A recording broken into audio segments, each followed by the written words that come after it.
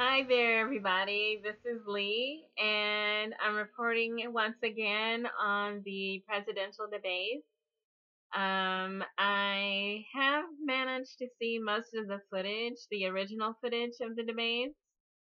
Uh, the um, on the fly uh, insertion of Jill Stein answering questions in real time via live stream. I, I saw that. Um, available on Periscope and Twitter and her Facebook page and YouTube as well. And then I also saw the the day after footage that she also filmed with Democracy Now, um, inserting herself, or Amy Goodman inserted her into the debate footage.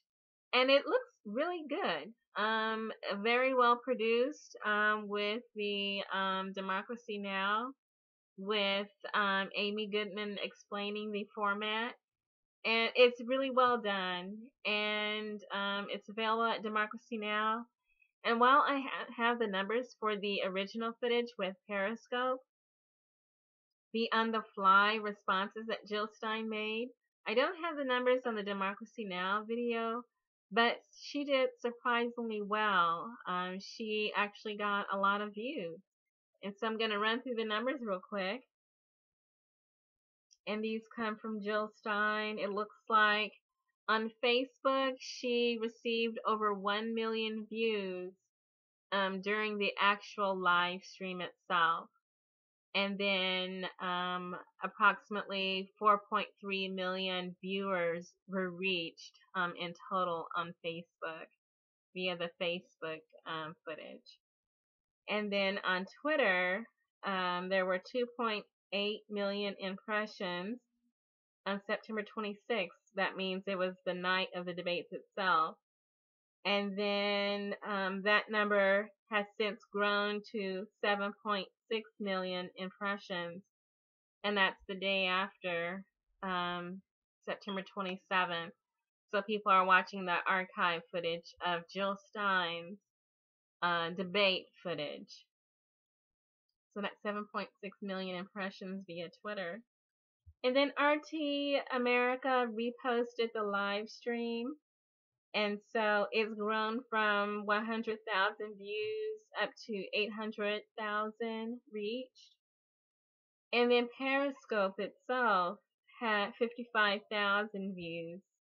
And um, according to Twitter, this is really impressive um, since that's the very first time that they use Periscope.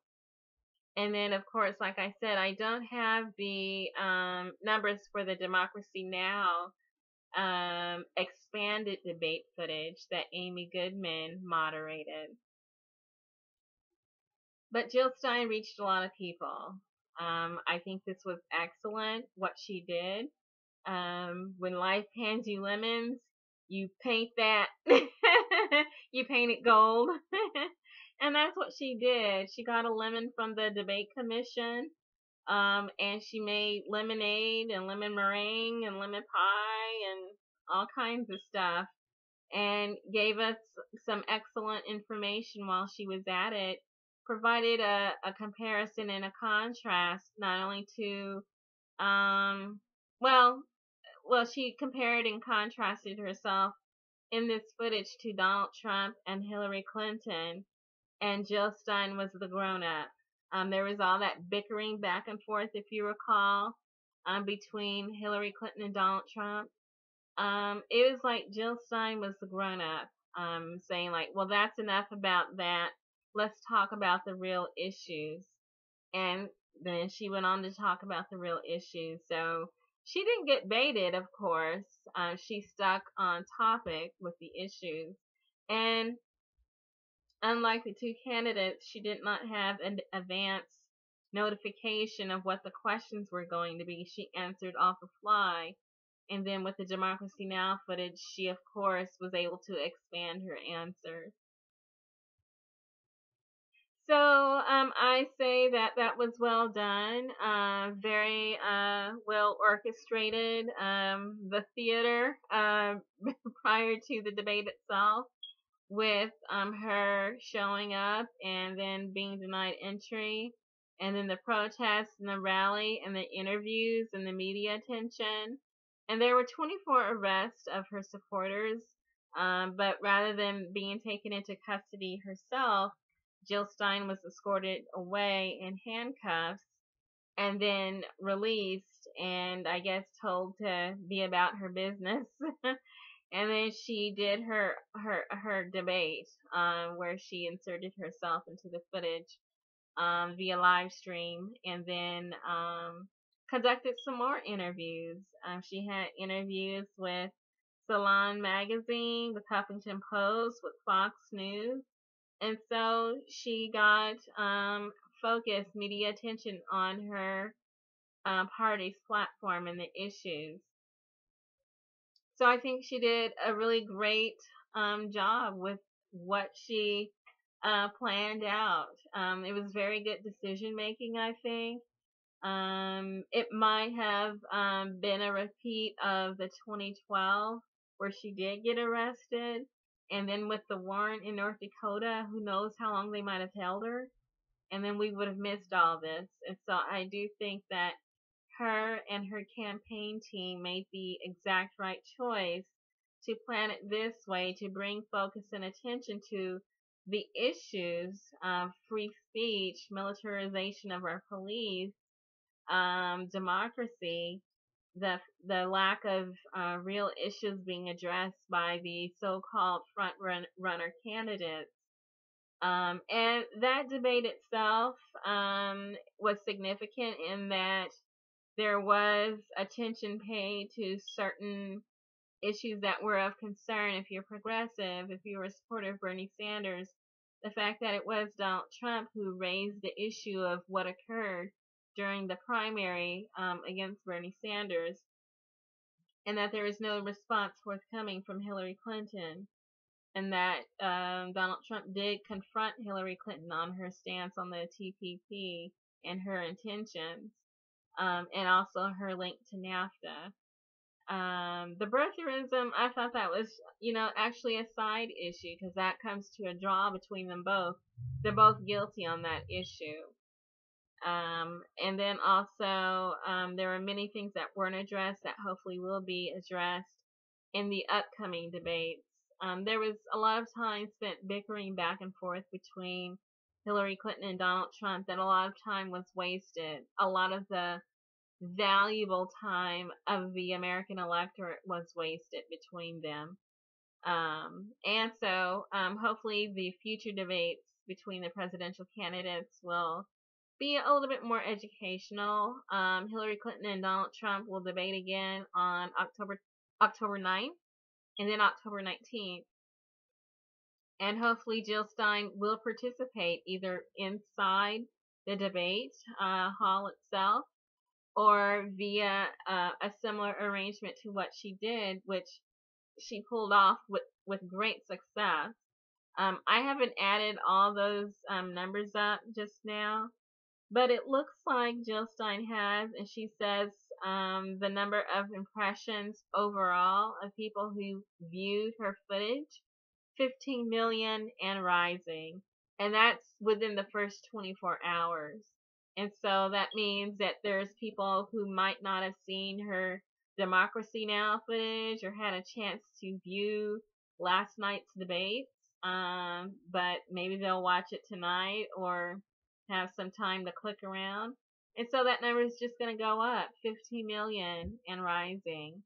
So she um, accomplished so much. I'm really happy for her, um, her campaign team, and the Green Party itself, and then us, the electorate, who actually had someone available to address real issues with real substance instead of name calling, personal insults, one liners, and um, snide remarks.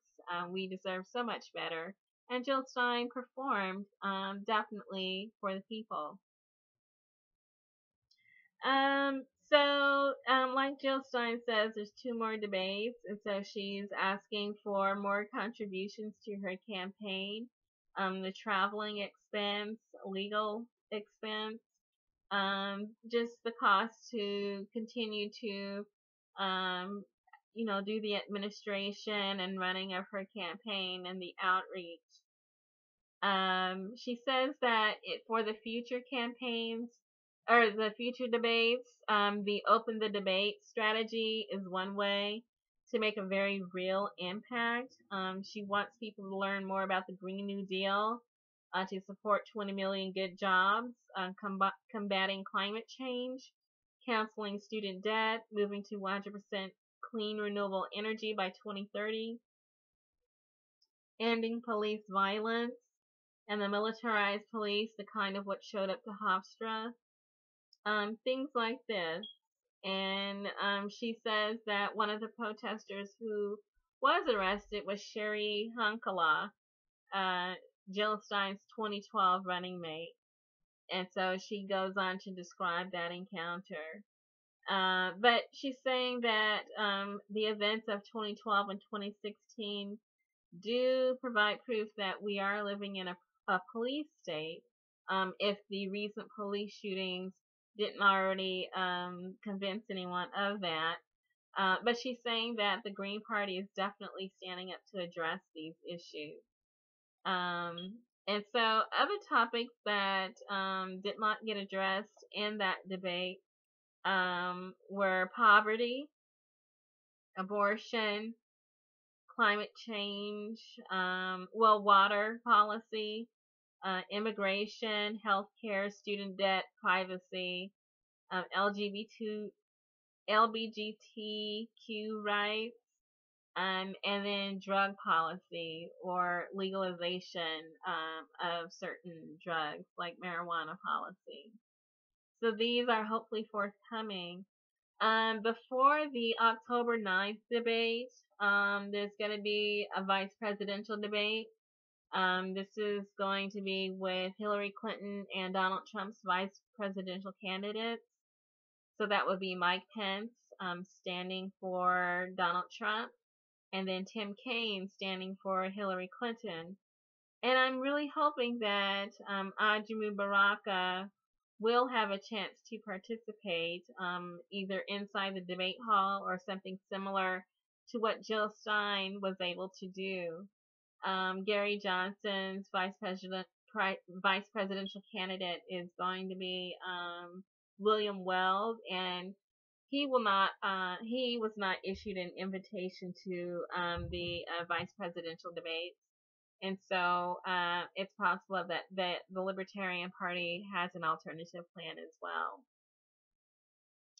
But um, it does pain me to address the fact that Ajamu Baraka will not be standing on stage being the sole military veteran um, that is running on a presidential ticket as Jill Stein's VP.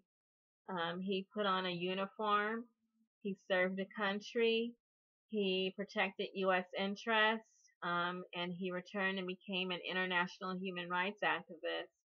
And he will not be allowed to speak. And it's kind of um, interesting the way that a military veteran is treated in this country it's a reflection of the way veterans are treated overall in this country. They're marginalized, silenced, and ignored uh, while people talk around them um, and their needs go unaddressed. And, you know, you ask, well, who will speak for the veterans? Hillary Clinton certainly cannot. Neither can Donald Trump. Neither can Tim Kaine. Neither can Mike Pence it would be nice if we actually did have a veteran on stage articulating issues related to military policy, foreign policy, um, war and peace, interventions and re- regime changes, and definitely human rights.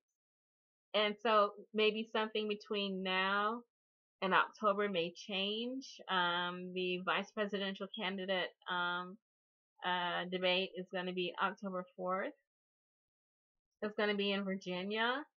Um, hopefully something will change, but if not, I really do support what Jill Stein has accomplished um, via Periscope and Twitter, uh, Facebook, YouTube, and other supporting social media as well as what Democracy Now! has helped them to accomplish. Um, a debate um, that addresses a majority of the issues that are relevant um, to the majority of North Americans, um, issues that need to be addressed. I really would like to see that happen, and I hope it does. But overall, I wanted to say that was just great for the Green Party. Um, and I'm going to again post those links in the description. Um, and then that way you'll be able to follow up and learn for yourself what the third option had to say about public policy in the USA. Good luck.